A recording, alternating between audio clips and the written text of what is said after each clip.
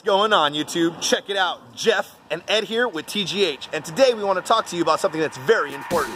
Something that's very near and dear to our hearts. Yes, we're talking about the positivity movement. And you know what? The movement is not just about the word, it's about our actions. So what is it that we can do to show love to those in our community? We're gonna go to each other's pages, like, subscribe, and leave comments. Engage with each other and be positive with one another. That's how you become a member, a positive member of your community. Show and spread the love. Again, guys, the movement is all about you and what you do.